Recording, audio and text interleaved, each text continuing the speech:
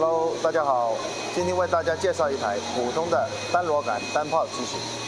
这台气泡磨机有一个螺杆组成，手动三通，磨头加成型滚，加冷却滚，轻盈滚，带自动背边回收。这边是摆动架，自动换卷收卷机，人工切断。这台单炮机就为大家介绍到这里，下期为大家带来更多的机型讲解。